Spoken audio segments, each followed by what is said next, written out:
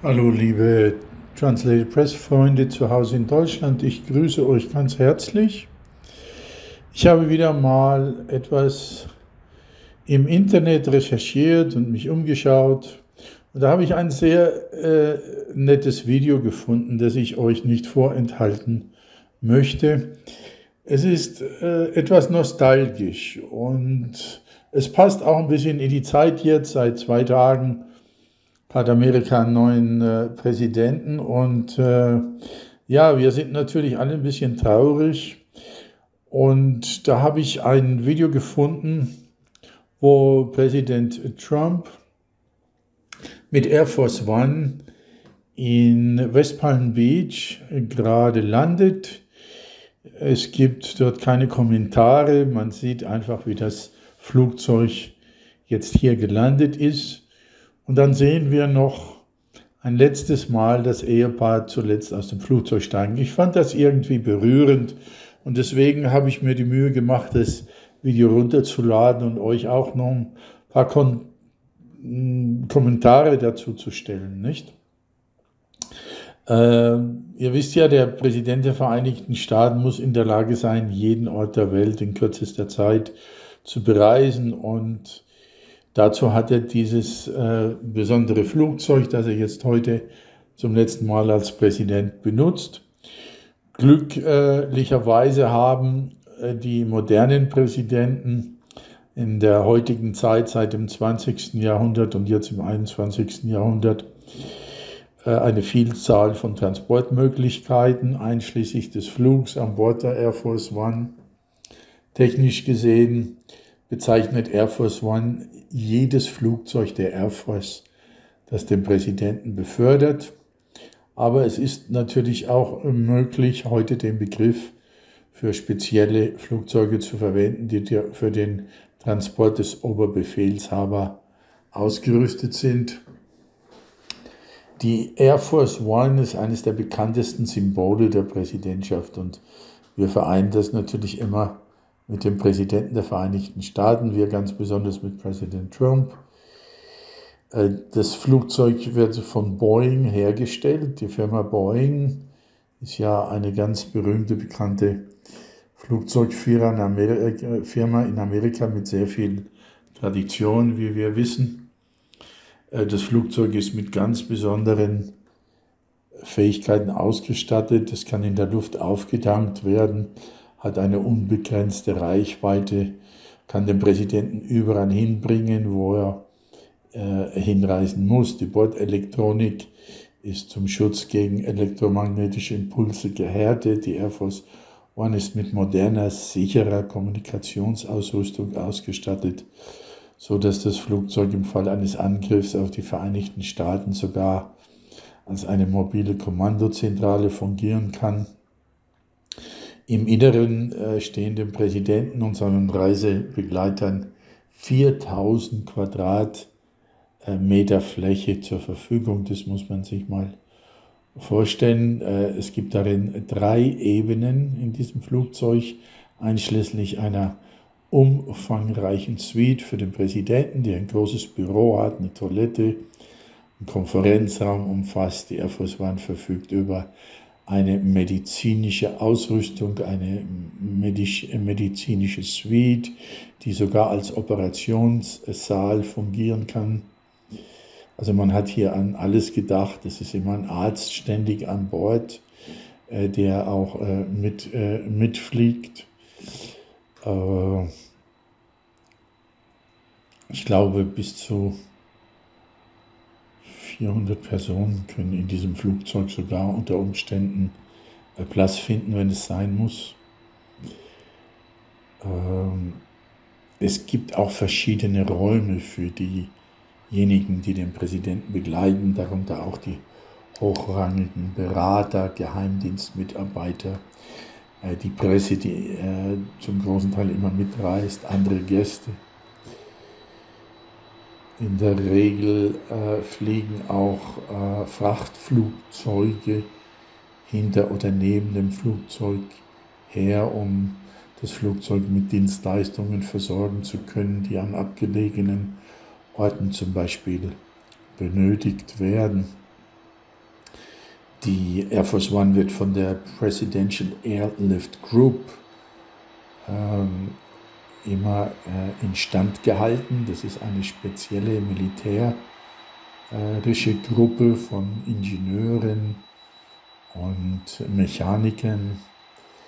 Äh, das ist äh, eine Gruppe, die wurde 1944 auf Anweisung von Präsident Franklin D. Roosevelt äh, gegründet, speziell äh, für, für die Air Force One. 1962 war Präsident John F. Kennedy der erste Präsident, der in einem speziell für den Einsatz als Präsidentenflugzeug gebautes Jet eine modifizierte Boeing 707 benutzt hat. Vorher waren das immer nur Propellerflugzeuge.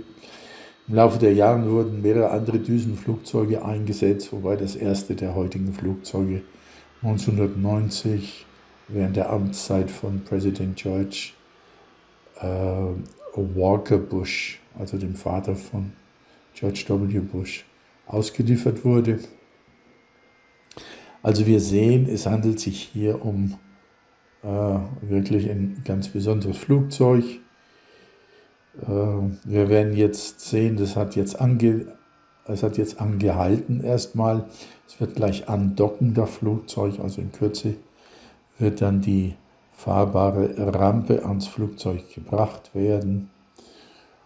Und dann erwarten wir natürlich, dass Präsident Trump und First Lady Melania aussteigen. Wir sehen jetzt gerade kommt äh, der Van, der Truck mit der Treppenrampe an das Flugzeug herangefahren. Es ist wirklich ein schon ein sehr nostalgischer Moment. Ich glaube, ihr teilt da meine Meinung mit mir. Aber wir haben natürlich die Hoffnung nicht aufgegeben. Wir werden mit Sicherheit in den nächsten Tagen und Wochen und Monaten noch viel Neues erfahren. Äh, davon bin ich persönlich sehr überzeugt und ich glaube, ihr auch. Äh, wir werden jedenfalls dranbleiben, was noch weiter passiert. So, die Tür hat sich jetzt geöffnet. Ein äh, Offizier der Luftwaffe steht jetzt bereit und hilft beim Andocken an die Air Force One.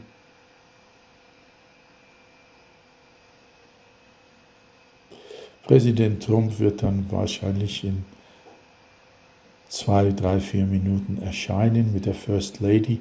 Seine Familie ist auch im Flugzeug, soweit wir wissen. Also die Kinder mit ihren Ehepartnern, die Enkelkinder.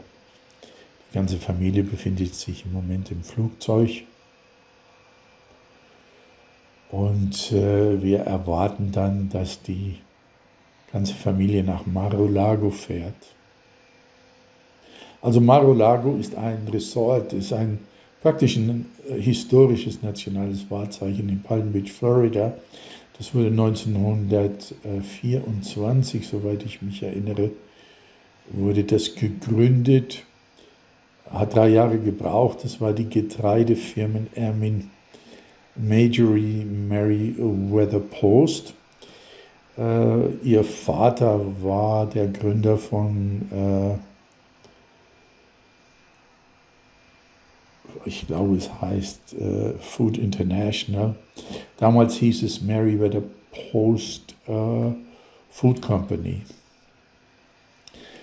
Das ist eines der größten Anwesen der Vereinigten Staaten, hat 126 Zimmer und 5900 Quadratmeter äh, Innenfläche.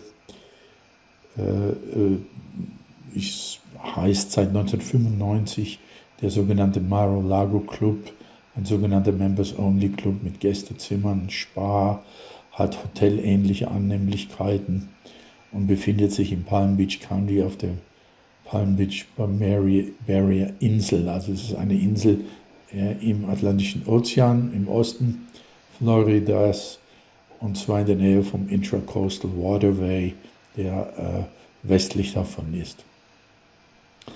Äh, Mary äh, Majorie äh, Meriwether Post ist 1973 verstorben. Sie hat damals dieses Anwesen zum sogenannten National Park Service erhoben, in der Hoffnung, dass es für Staatsbesucher oder als sogenanntes Winterweißes Haus, also das Weiße Haus für den Präsidenten im Winter genutzt werden könnte.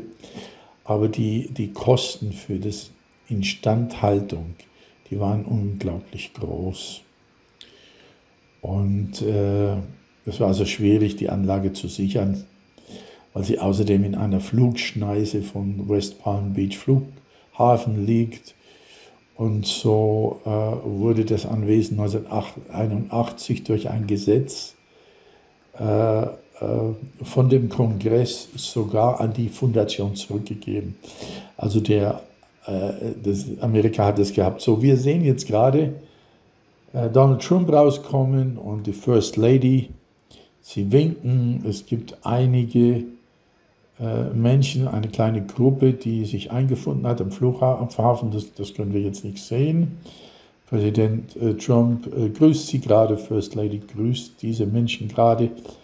Wir sehen, sie werden jetzt gleich sofort einsteigen in einen panzergesicherten Van. Sie sieht sehr schön aus, die First Lady, wunderschönes tropisches Kleid an. Der Sicherheitsbeamte macht jetzt die Türe zu. Dann kommt die Pressefotografin des Weißen Hauses, die noch letzte Bilder macht. Und dann werden sie wohl gleich losfahren. Wir sehen jetzt, da kommt schon die Familie raus, oben auf der Rampe. Wir sehen Don Jr., mit seiner zweiten Frau. Wir sehen Eric dahinter. Äh, da ist Tiffany aus der Ehe mit Marla Maples. Das ist die Tochter aus dieser Ehe. Ich kann mich gut erinnern, ich habe damals in New York gewohnt und habe Donald Trump verfolgt, als er von seiner ersten Frau geschieden war und Marla Maples geheiratet hat. Da habe ich an der East Side von New York gewohnt. Es war eine sehr kurze Heirat, die, glaube ich, nach zwei Jahren dann abgebrochen ist. Aber zwischendrin war dann Tiffany auf die Welt gekommen. Er hat sich immer um seine Kinder bemüht.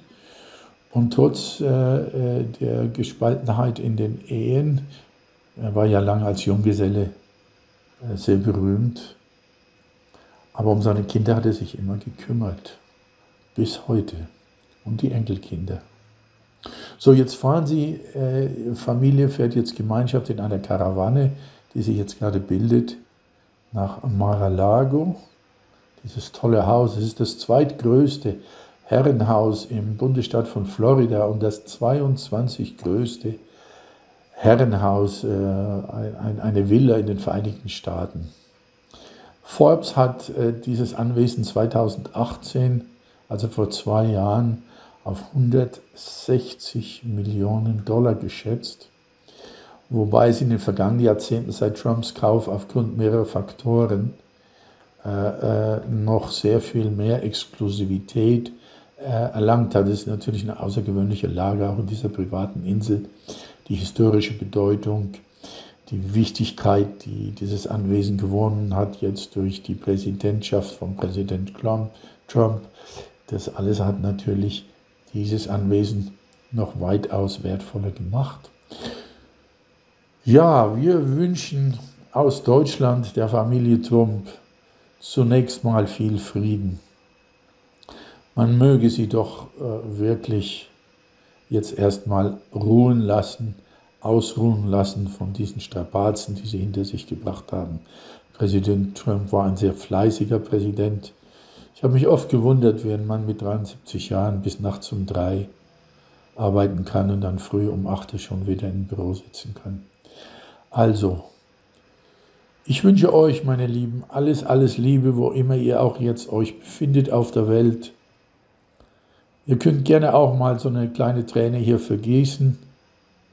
Wir haben die Wertschätzung für diesen Präsidenten in unserem Herzen getragen. Und wir wollen uns jetzt erstmal für eine kurze Zeit verabschieden. Er hatte ja gesagt, dass er wiederkommen wird. Darauf setze ich auch ganz besonders. Er wird sich wieder melden. Wir wünschen der ganzen Familie wirklich jetzt erstmal, dass man sie in Ruhe lässt und dass sie untereinander sich erstmal einzeln austauschen und genießen können. Hier sehen wir jetzt die Karawane, die, die auf zur Insel fährt.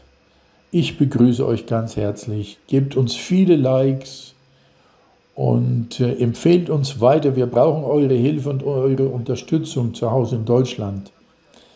Alles, alles Gute, euer Ardi von Translated Press. Tschüss.